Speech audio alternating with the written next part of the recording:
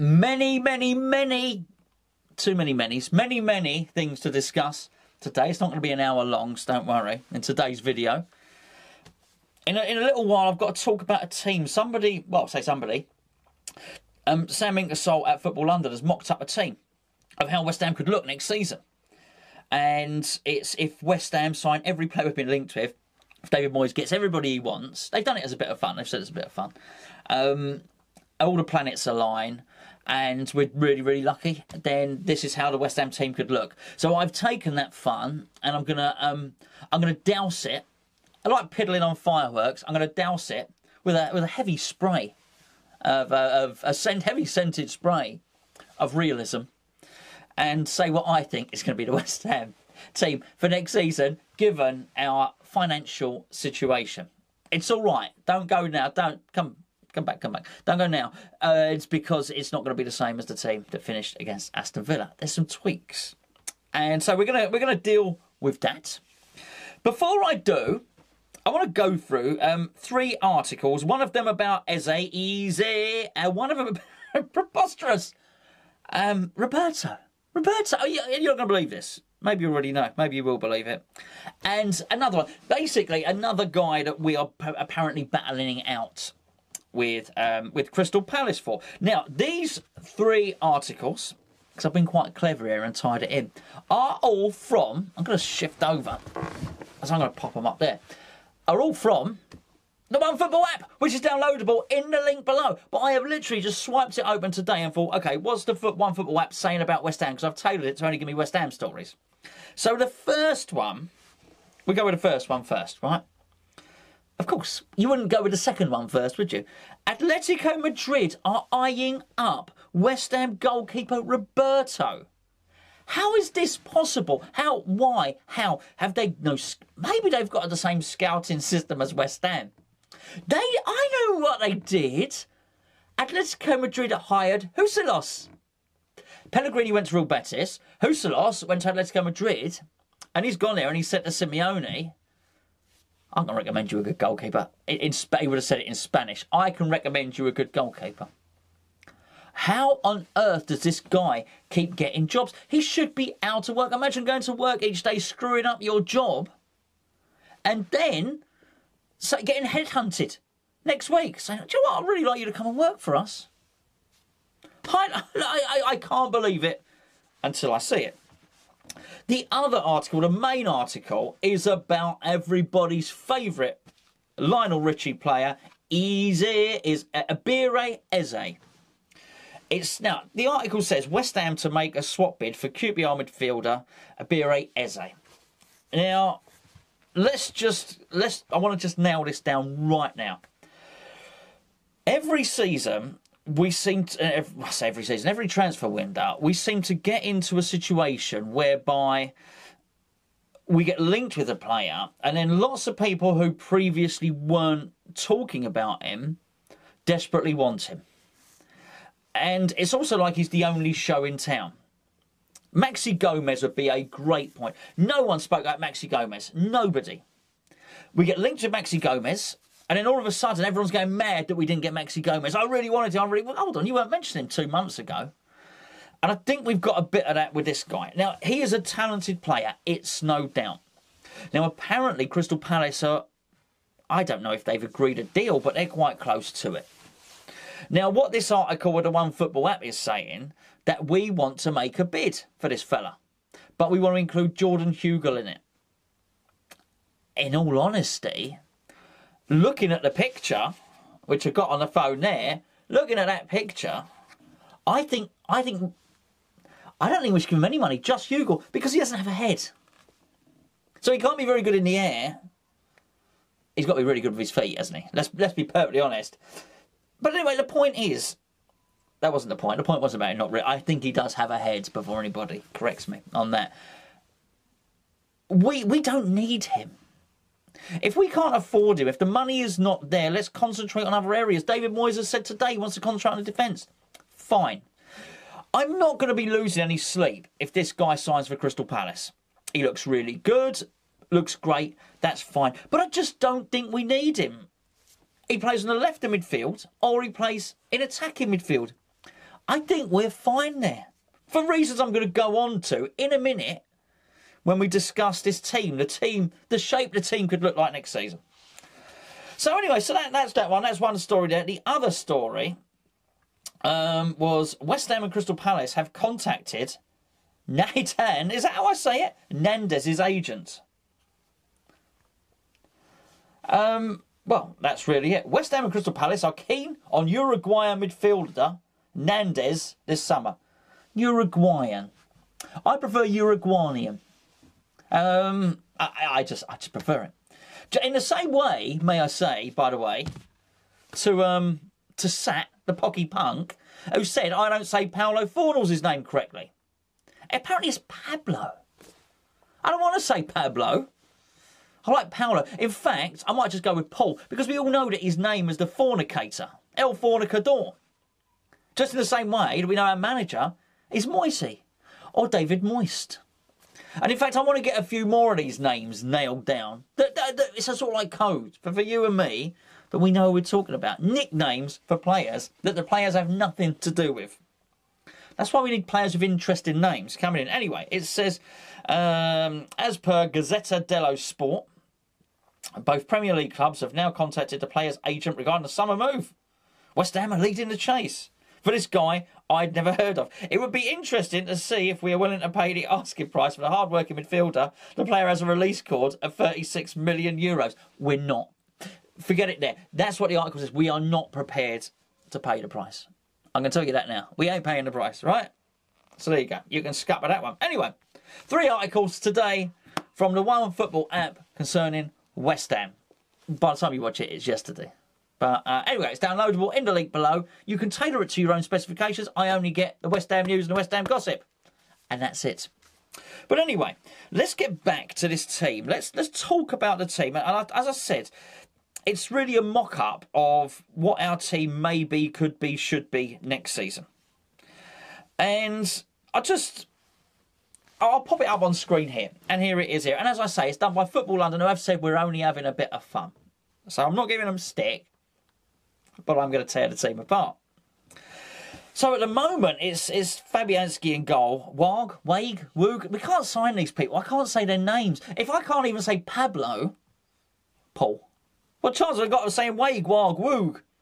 Diop, Ogbonna, Robinson, who I'm perfectly capable of saying. Uh, Rice and Soucek in the middle. Um, and one. In fact, it's got to be Jim Bowen.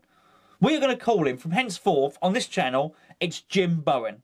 Jim Bowen on the right, Eze in the middle, Benrahma on the left, and then Ollie Watkins down the middle. This is a complete overhaul he's doing here. It's a lot of really good players who've done really well for West Ham, who are not getting a sniff of the team. Oh, poor old Antonio saved us from relegation. No, you're not in. You're booted out. You're gone, old son.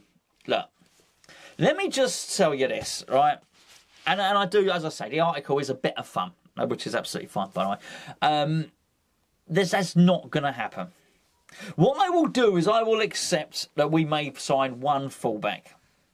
So let's take Wag Wag Woog out of it because what well, because I can say Robinson. So let's take that right back out of there. And what we'd do is we would put Glenn, Glenn, Glenn Johnson. Too old. We could probably afford Glenn Johnson, but we'll go with Ben Johnson. Johnson, Diop, Ogbonna, Robinson. Fine. I think that's fine. Jim Bowen on the right.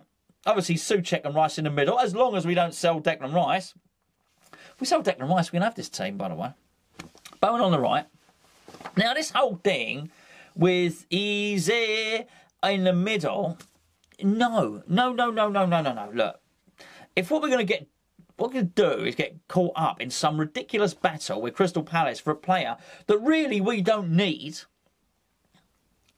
It's it's preposterous. Let's play the fornicator there. Let's play the fornicator in central midfield. Right? Let's do that. Um, and where he's got Benrahma? again, very good. I'm not saying that Eze and Benrahma are bad players. They're clearly very good. I'm saying we ain't got the money.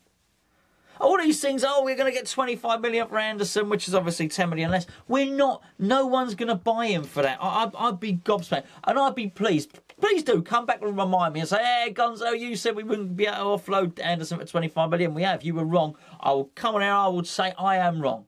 I just can't see anyone wanting to buy him. Do you like I Imagine you buy him. He's, he's not, it's not going to happen. So what we do is we play the fornicator in the number 10 role. Give old, you know, Mark Noble, give him a little rest. Give him one of them, um, give him a nice reclining chair. One of them little pillows, you know, the ones you blow up that wrap around your neck for when you're on a coach journey. Give him one of them, sit him down, it can come up for the last 10 minutes like that, and we'll play the fornicator there. In the middle as a number 10. On the left, it's simple. It's easy. It's not easy, that's a different one. No. Um, it's, it's Grady Diangana. He plays on the left.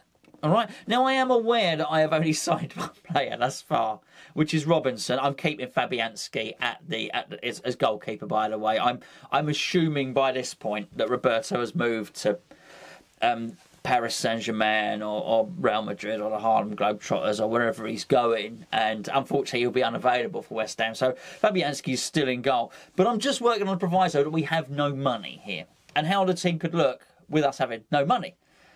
And the reason I put Robinson down there is because Robinson is at um, is at Wigan Athletic, and Wigan Athletic are skin. They're in administration. Their home home is about to become repossessed, and if we can't go and buy a player, if West Ham United in the Premier League with, with, a, with an owner worth over a billion quid can't buy a left back who's almost out of contract from a skint championship club are about to go into liquidation, then we are more skint than we ever feared.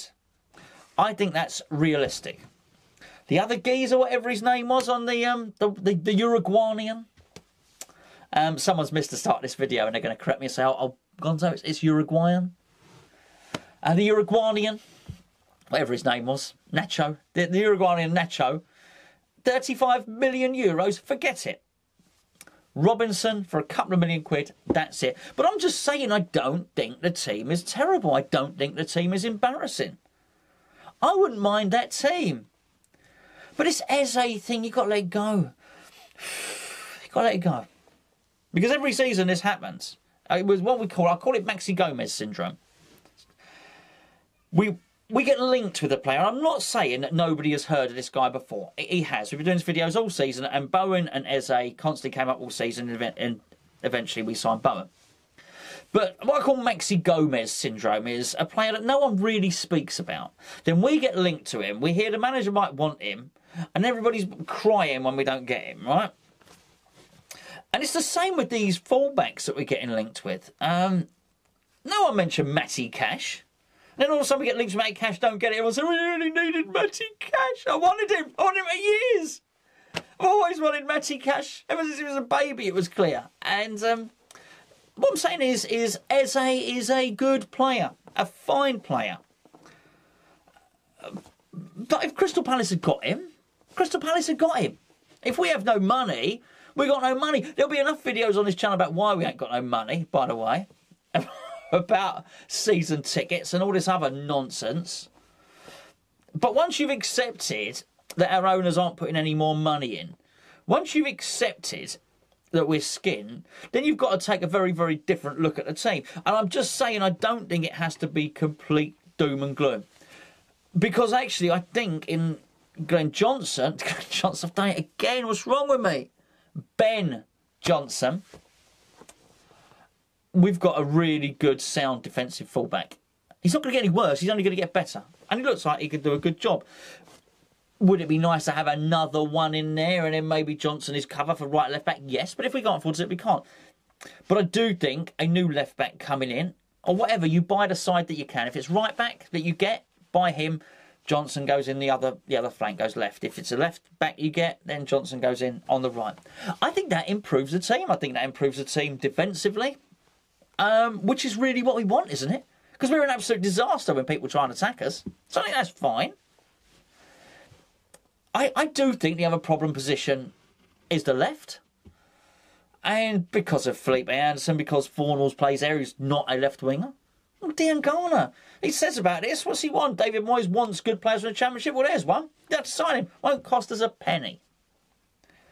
And Fornals, if, if he's as good as everybody thinks he is, and I think, don't get me wrong, I think he's a hard worker. I don't, I don't think Forn, I don't, I don't think the fornicator is quite as fantastically brilliant as many think he is. Okay, I, I haven't done it on day one, but I do think he's a good player, and I do think he's a Premier League standard player.